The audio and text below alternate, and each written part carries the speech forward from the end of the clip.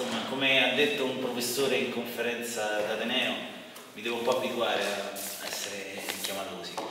E intanto benvenuti a tutti, buongiorno, sia a quelli che conosco che a quelli che non conosco. Eh, adesso non so come volete articolare questo incontro. Io insomma dirò pochissime cose, e poi semmai fate voi delle domande, ci fate delle domande su quello che ritenete più interessante. Eh, premesso che io ancora non ho formalmente preso servizio, ma comunque sono stato eletto con un risultato che devo dire ha sorpreso anche me, perché comunque è stato un risultato molto positivo, eh, dove credo sia stato eh, così premiato e valutato anche eh, il lavoro che ho fatto in questo Ateneo per vent'anni eh, in modo costante e con passione. Eh, noi veniamo da un rettorato, quello di Marco Mancini, che molto ha fatto per questo Ateneo e lo ha portato sino ad oggi con una condizione economica assolutamente invidiabile e anche con un eh, contesto e una presenza dell'Ateneo sul territorio molto significativa. Eh, quindi il punto di partenza eh, non può che essere raccogliere questo ideale testimone e proseguire eh, in un lavoro che naturalmente sarà diverso da chi mi ha preceduto perché diverse sono le teste e diverso anche il contesto nel quale sta maturando l'avvio di questa attività, che fatte le debite proporzioni, un contesto economico molto difficile, eh, qui rischio di annoiare e lo dirò solo una volta perché è bene che questo sia un po' la stella polare che debba guidare il cammino di questi anni, e cioè sempre eh, contemperare l'esigenza di assicurare un bilancio in salute, eh, un bilancio che dovrà tenere conto di quello che leggete, che conoscete meglio di me, e cioè i tagli eh, che in modo quasi lineare ogni anno si ripetono, eh, vanno a colpire il sistema universitario e più in generale quello dell'istruzione. noi dovremo cercare di contemperare questa situazione con l'esigenza però di assicurare quegli investimenti necessari a garantire la sopravvivenza dell'Ateneo ma anche la sua crescita in un territorio che, eh, questo legame col territorio per me è molto importante, un territorio che già di per sé è un territorio sofferente dove come sapete è un territorio che sconta una crisi importante dove l'unica realtà produttiva ancora significativa, quella del distretto, è una situazione molto difficile e dove complessivamente, insomma come in tutto il paese, l'economia soffre.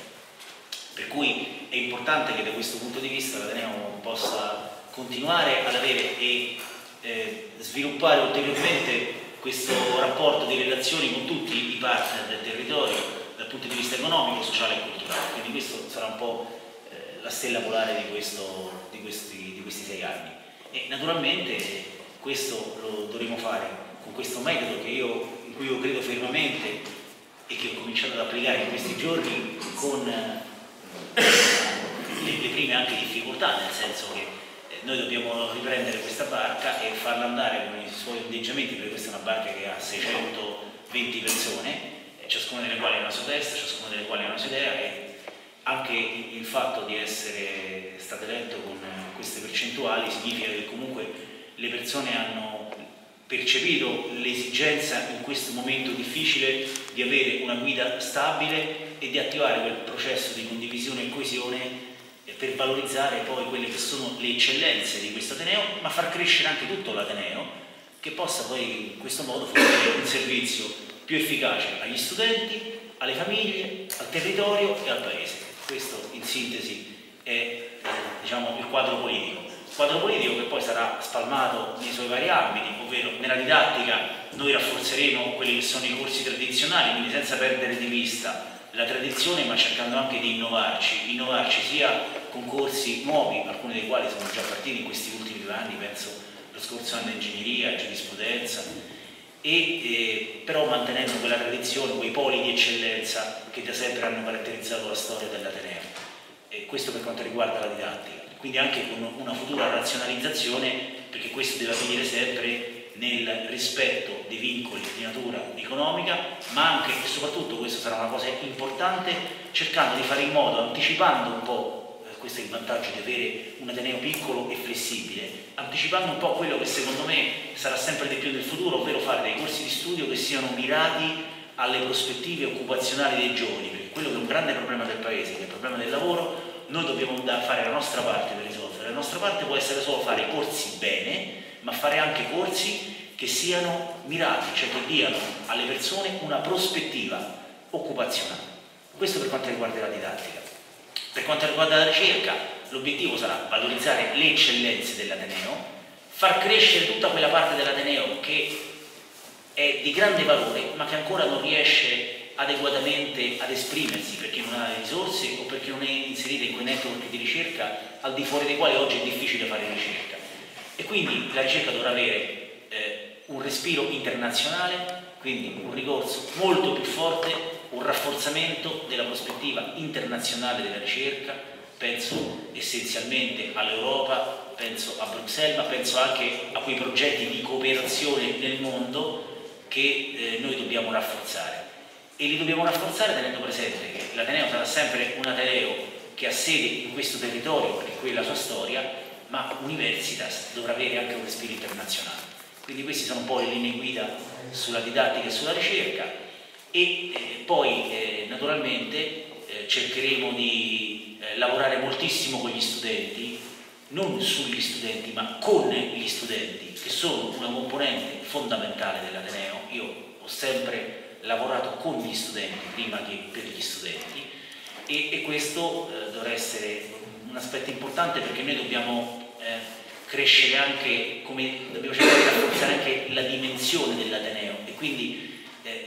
attrarre studenti, un Ateneo riesce ad attrarre gli studenti oggi se è competitivo per la didattica, se è competitivo per la ricerca, ma anche se offre servizi e se è un Ateneo a misura d'uomo, dove come oggi già avviene gli studenti si sentano seguiti, si sentano capiti e abbiano un rapporto diretto con i professori. Queste sono cose semplici, ma secondo me rappresentano una leva importante per lo sviluppo futuro di questo Ateneo. E, e, da questo punto di vista devo dire che insomma, i rapporti che abbiamo con gli studenti che ho costruito in questi mesi e che ho da vent'anni mi fanno guardare con ottimismo a questo profilo. E poi eh, c'è l'aspetto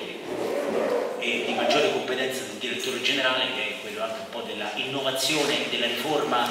eh, della riorganizzazione dell'Ateneo che non può che passare da un maggiore ricorso sempre più forte alle nuove tecnologie, all'innovazione, eh, questo significherà nuovi servizi per gli studenti, questo significherà uno snellimento e una eh, maggiore flessibilità in tutte le procedure organizzative perché eh, il fatto anche che noi abbiamo dei vincoli di bilancio molto più stretti ci deve spingere a fare le cose con efficacia, con efficienza e con trasparenza. Questo è un po' eh, e poi eh, alla fine ma il, il collante di tutto questo è l'università aperta sul territorio, aperta sul territorio dal punto di vista culturale, dal punto di vista economico e dal punto di vista sociale,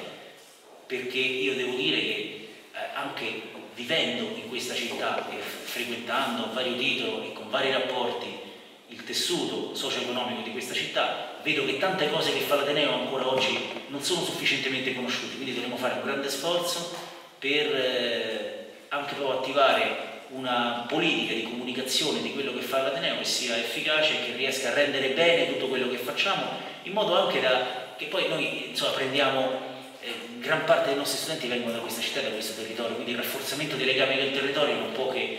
eh, avere innanzitutto quello che per me è importante, una valenza sociale. Non dimentico che tre anni fa, lo dico sempre in tutte le occasioni, questo Ateneo su una ricerca che fece l'Espresso era il primo Ateneo in Italia per crescita sociale, cioè quello in cui i laureati avevano entrambi i genitori, non, cioè i nostri studenti avevano entrambi i genitori non laureati, che significava comunque un aspetto significativo di valore sociale che questo Ateneo ha sul territorio. Questo deve rimanere e deve rafforzarsi perché poi noi gli studenti li prendiamo non solo, ma soprattutto da questo territorio. Quindi ci deve essere chiara la percezione di quello che l'Ateneo può fare per il territorio. Questo, eh, diciamo, sono stato molto sintetico, ma eh, tutte queste cose stanno già nel programma, quindi poi eh, credo che questo sia il, il diciamo, poche cose concrete che noi possiamo fare in questi anni. Poi non so se